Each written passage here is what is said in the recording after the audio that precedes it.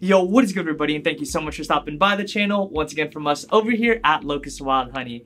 So we are currently on day number seven of the big quarantine for the coronavirus and guys at this point, I think I speak for both of us, we are very much so over it. Anyways, Gabby and I were just hanging out on my couch and we were looking at old pictures and uh, she started to give me kind of a hard time because of some of my outfits and uh, I was like, you know what, babe, let's make a video out of it. So that's the purpose of today's video. We're gonna go over five of my old outfits Okay. and kind of break them down and see if they're wearable in 2020 and just get our overall thoughts on them. So uh, yeah, without further ado, let's go and jump into today's video.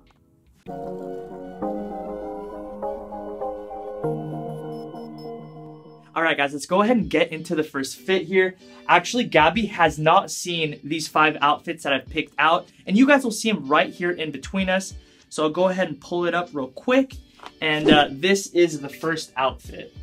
Fit breakdown, your thoughts. Is this outfit wearable in 2020? And what are your thoughts on the outfit overall? No. No.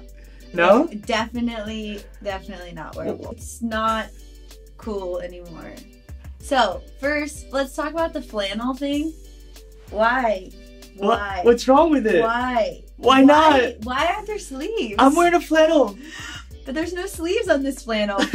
like, um, the the shorts with the the pant or the like leggings underneath the yoga pants. You know, I'll just be honest. I don't think that the thermal leggings are the move. As far as like day to day like clothing wear, I just don't think that that's that's relevant. That's okay. You can say that, babe. You can go in. Now, as it relates to my opinion, in 2016, Gabby, this was a fit.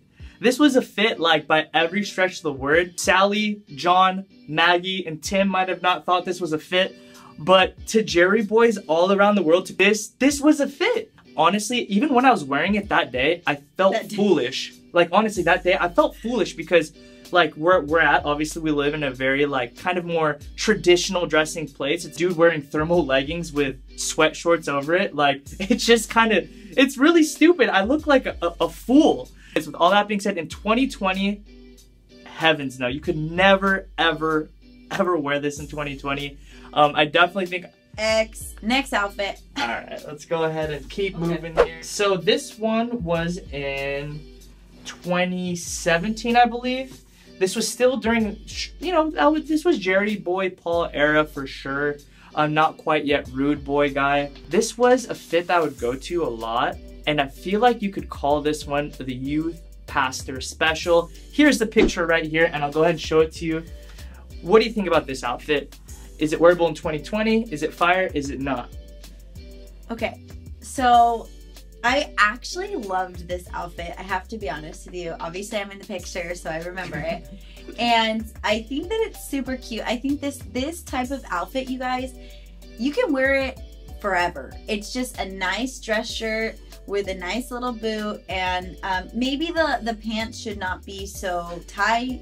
Let's just talk about that.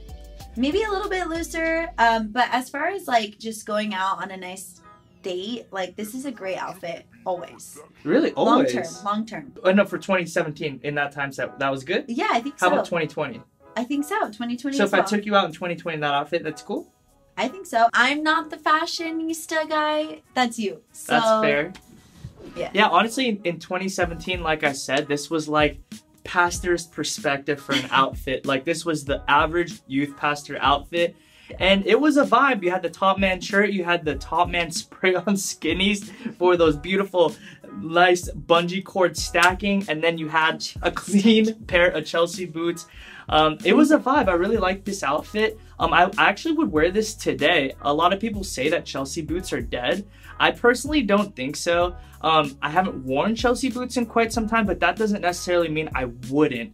Um, I still think it's a very clean look. I think skinnies are still wearable, like she said, though. I think that if you were to defer from a skinny with a Chelsea, maybe going with a more slim rather than a skinny a pant would have would have done in, in this day and age. But I mean, if I was wearing this today, I wouldn't be ashamed. Now, like the shirt, I feel like the shirt is kind of a little bit too like preppy uh, for me nowadays. Like nowadays, I probably wear something more flowy, maybe rayon, maybe keep like buttons open. You know what I'm saying?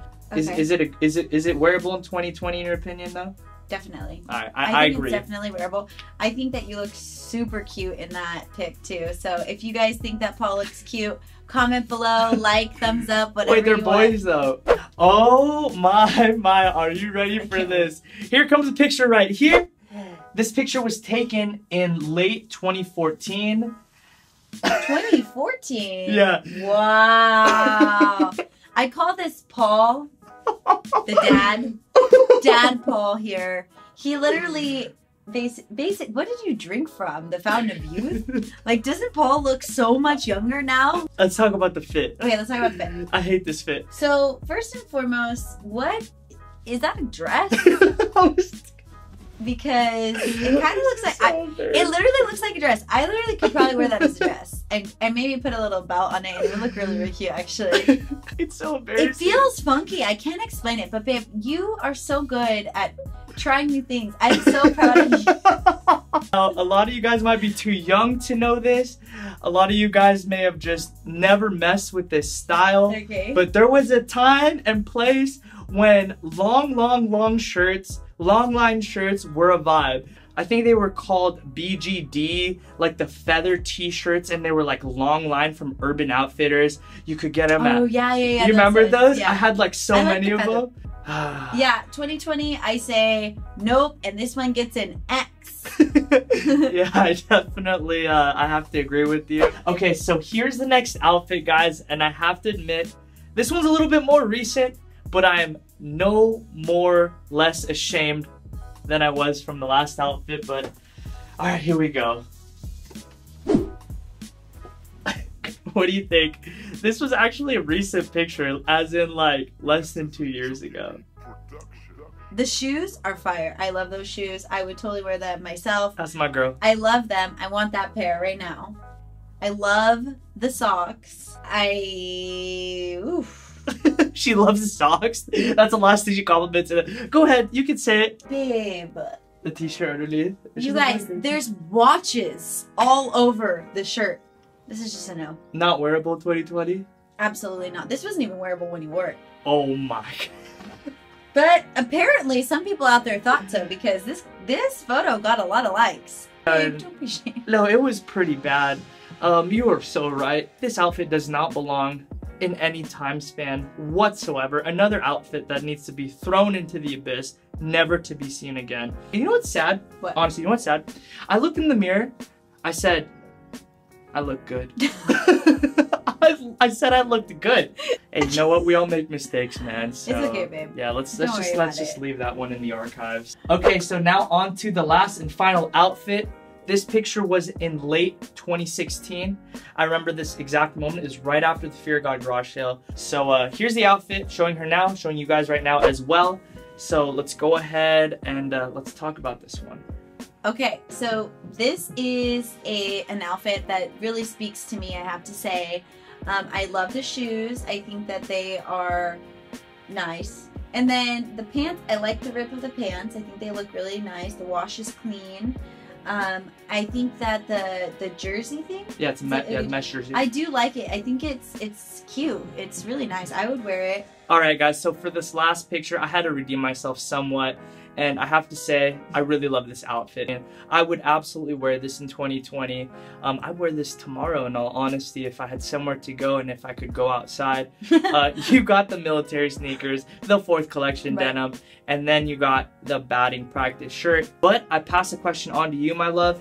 Is this outfit wearable in 2020?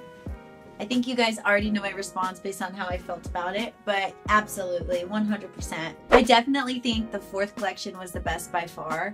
Um, Really? For Jerry. At this point, I, we'll see what he comes up with because I know there's more creativity bubbling up in that guy. Um, but I definitely felt like most of his iconic pieces were from the fourth collection. I'd agree with and, Um, All right, well, babe, I appreciate you so much for being in today's video. If you did enjoy it, be sure to hit that thumbs up button and let us know in the comment section down below. Would you guys like to see this again? I can definitely bring out some high school pictures, a little Ed Hardy, a little Rock & Republic, a little True Religion. Protect your health. Both Gabby and I are praying for each and every one of you. We thank you guys so much for the continued support. And uh, yeah, as I end every video here at Locust and Wild Honey, we're gonna say peace, peace and be blessed. blessed. Hey, Hey,